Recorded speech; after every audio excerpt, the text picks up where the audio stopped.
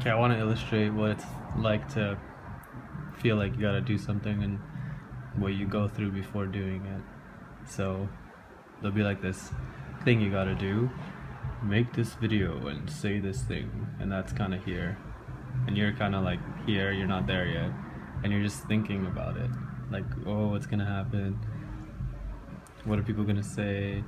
And like your thought waves are all kind of here, and there's all this anxiety of like different ideas and forces and opinions. But meanwhile, you're still here, like you haven't actually done the thing. Then meanwhile, you can kind of like, just with your mind, before even doing it, get back to the the thought waves that are telling you to do this thing, and it's like there's all clarity, there's uh, no anxiety, and there's no none of this like angst, because it's just like, here, come do this, follow me.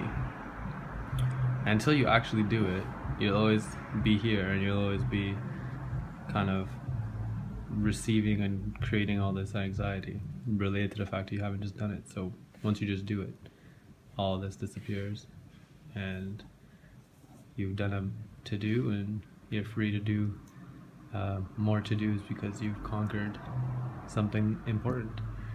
So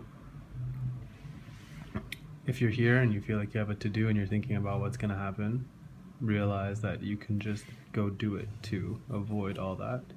Or you could even, while you're still thinking about it, float yourself to that space where it's just you and your higher power or your deeper self telling you why you have to do that, what you have to do. And that deeper, more important voice is uh, has no time for this bullshit. All this is self-created in your mind. All you gotta do is do it.